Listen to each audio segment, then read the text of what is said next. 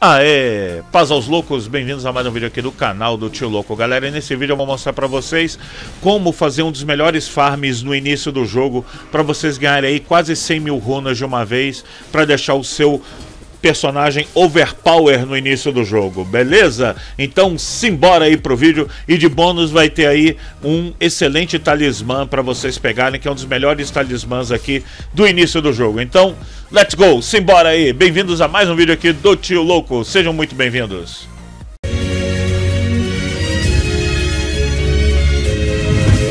Antes de fazer o farm, nós vamos aqui pegar dois pés de galinhas que vai dar muito mais dinheiro aqui durante esse, esse farm. Então vamos aqui até essa graça, o primeiro passo, né? Perto do varré da máscara branca. É o primeira, a primeira graça quando a gente chega no jogo, tá? Monta aí. Dá a volta aqui. Que aqui atrás vai ter um jato de ar que nós vamos descer e pegar a, o pé de galinha. Vamos lá. O jato de ar tá ali, estão vendo? Então, ó. Daqui, ó, tá vendo lá? Pula sem medo. Dá um pulo duplo aí. O jato de ar vai manter a gente aí. Ó. Pronto, chegamos. E o pé de galinha vai estar tá aqui, ó, nesse corpo aqui. Beleza? Pegamos o primeiro. Nós vamos pegar dois, na verdade. Vamos voltar aqui no jato de ar. Quase deu certo, mas tudo bem, não tem problema. Vamos puxar aqui de novo aqui. Beleza, agora voltamos. O pé de galinha vai estar tá aqui, ó, perto do da graça Lago Aghel Norte, tá? Tá vendo aqui? É aquela graça antes da ponte. Vai estar tá logo aqui no morrinho, perto de pessoas crucificadas, é. É ali, aonde eu marquei no mapa, tá? Dá uma boa olhada aí. Então, nessa graça aqui, a gente vai fazer esse caminho e pegar o segundo pé de galinha lá aonde eu marquei. Então, simbora. E vamos seguindo esse caminho aqui, ignorando todos os inimigos, passando pela ponte, e vai estar tá logo em cima onde está marcado as pessoas crucificadas. E assim que a gente pegar esse segundo pé de galinha, vamos lá pro farm, pra gente poder pegar as runas para deixar o nosso personagem overpower. Então onde a gente vai fazer o farm é aqui na Torre Pedrilhante de Lene, tá? Bem aqui. Se você não sabe como chegar aqui, você tem que ver o vídeo do início, o primeiro vídeo dessa série. Eu vou colocar no primeiro comentário aí, que mostra é, como você chega aqui, beleza? Tá? Veja aquele vídeo que é muito importante para os outros vídeos aí, vocês poderem chegar nos lugares. E aí você vai pegar aquele jato de ar, farma aqui umas runas nesses cemitérios que é sempre bom, tá? E depois de farmar essas runas, segue o caminho que eu vou mostrar aqui no vídeo. Só pega as runas aí, de boas. Bem tranquilo, aqui não tem inimigo. É só você farmar aí pegar as zonas aí. E agora, vamos lá, simbora pro caminho, tá? Deixa eu mostrar pra vocês aqui. Vai passando aqui. Usa aquela, aquela torre, aquela árvore como referência. Ok? E vambora, siga esse caminho aqui. Esse caminho é para pegar um dos melhores medalhões no início do jogo e também para farmar aquelas 90, quase 90 mil runas que nós vamos pegar aqui, que vai ser importante agora para deixar o personagem overpower. Pegando essa graça aqui no meio do caminho, vamos continuar aqui, passa por esse dragão, não se preocupa com ele. Vamos virando à direita, você vai ver um dragão gigante branco, passa do lado direito dele, pula esse muro aqui e vamos chegando aqui até essa graça. Chegamos, é aqui que nós vamos fazer o farm. Vamos pegar o medalhão antes? Então, vamos embora. Você sobe por aqui. É importante sair correndo, tá? A gente vai acabar morrendo. Se, se, é, até quando pegar o medalhão, a gente morre. Mas se morrer antes, tenta de novo. Sai correndo aqui, porque vai ter uns inimigos vão tentar te envenenar. Sobe correndo aqui. A escada. Opa, não fui envenenado, beleza. Ó, tô tentando envenenar, não fui. Maravilha. Chegou aqui em cima, gente, vai ter um baú. Você pega metade do medalhão para poder é, subir no elevador para outro mapa, tá? Eu não vou pegar agora que eu vou deixar isso aqui para um outro vídeo, mas peguem a metade do medalhão. Pula aqui, e aí é importante sair correndo. Você vai entrar no segundo buraco, tá? Cai no segundo buraco, vira aqui à direita, tá? Pula aqui, ok? Vira à direita de novo. Ó, opa. Não morri. E o medalhão vai estar tá aqui, ó, virando à esquerda, pega o medalhão. Ok? Ferida de Radagon. Maravilha, agora eu vou morrer, não tem como. Tentar subir aqui, mas o rato, será que me mata? Não, não matou. Olha. Que incrível. Consegui fugir aqui sem morrer. E aqui, ó. Eu saio correndo. eu fiz sem morrer, hein? Dá pra fazer sem morrer, galera. Dá pra fazer sem morrer. Aí, opa, só pulei do lado errado aqui da, do muro. Aí morri no final. É, falei cedo. Eu pulei do lado errado do muro, morri. Porque, olha, ele vai aumentar aqui, ó, 5 pontos em vitalidade, 5 pontos em fortitude, 5 pontos em força e 5 pontos em destreza.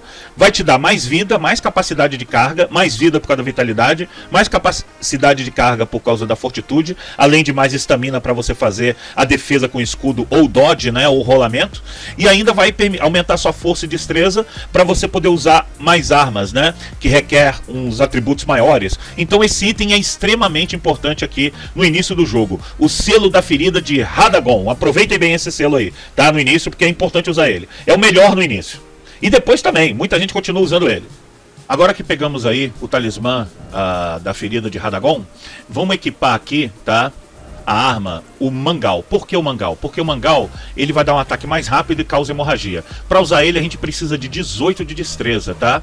Vai aumentar com o medalhão, vai aumentar 5 pontos a sua destreza. Se você não conseguiu 18 pontos, farma um pouco aí de runa ou upa o seu personagem até pegar 18 de destreza, porque essa arma é mais importante para esse farm, tá? Se você está acompanhando essa série, você já vai conseguir ter a runa suficiente para ter 18 de destreza. Beleza? E o dragão tá lá. Gente, é muito importante você também vir aqui, ó, em inventário.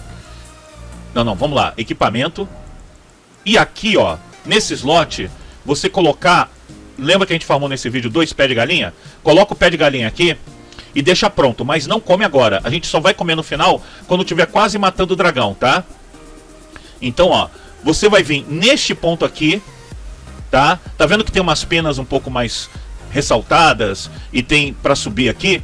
Você vai vir aqui e vai ficar apertando o Weapon Art, ficar girando o Magual, tá? O dano que a gente dá é muito pouco, tá aparecendo ali no canto direito. Chega uma hora que vai acabar a estamina, você deixa a barra de estamina encher e vai fazendo isso, tá? Mas o dano que a gente dá é muito pouco, mas quando sangra, você dá 13 mil de dano. Esse é o lance, tá? Vocês vão ver quanto a gente vai fazer. Gente, eu já vou adiantar o que vocês têm que fazer pro final, tá? Porque vocês vão ter que ser rápido. Assim que é, o dragão morrer, você tem que chamar a montaria e correr pra graça, tá? Porque senão você vai perder o dragão para farmar ele de novo. Você só vai conseguir farmar uma vez. Eu sei que o melhor para farmar o dragão aqui é o enxame de moscas. Só que eu tô fazendo um vídeo pra galera que tá iniciando o jogo. O enxame de moscas você só consegue pegar depois que mata o, o boss, o primeiro boss do jogo, né? E aí você faz vai fazendo a sequência da quest do Máscara Branca para poder chegar lá na, no mapa aonde você vai poder pegar o enxame de moscas, que é um mapa de farm, que eu vou fazer um vídeo ensinando isso também. Mas como esse é um vídeo que a galera, pra, pra galera que tá iniciando, então eu vou ensinar esse método aqui, o pessoal que tem, tem que ser rápido para não perder o farm do dragão, tá? Demora um pouquinho, porque você depende aí de fazer a arma sangrar. Você mantém aqui o Weapon Art apertado, ele vai girando. Ó, sangrou de novo. E quando estiver perto do último sangramento, a gente vai comer o pé de galinha, tá? Prestar atenção nisso matou com o pé de galinha ativado, a gente vai ganhar muito mais runa. E aí a gente tem que sair correndo assim que a gente matar o dragão. Não pode esperar nada. Chama a montaria, já sai ligeiro pra graça, tá? Que aí a gente não vai perder o dragão aí para poder farmar ele mais vezes. Então vamos lá, ó, sangrou de novo. Então galera, agora falta pouco pro dragão morrer. O que, que eu faço? Eu vou comer o pé de galinha, tá? Pra aumentar a quantidade de runa que eu vou ganhar e fico batendo e olhando a vida. Assim que ele morrer, assim que sangrar, ele vai morrer. A gente presta atenção, fica prestando atenção na vida que está no canto superior ali esquerdo. E nós chamamos a montaria e saímos correndo para graça para não perder o farm do dragão, tá? Então presta muita atenção nisso. Muita. Agora é crucial prestar atenção. Sempre deixa encher a barra de estamina. Bate até... Sangrou. Chama a montaria.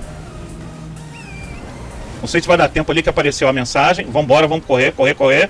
Pula aqui e já senta na graça. Ah, morreu.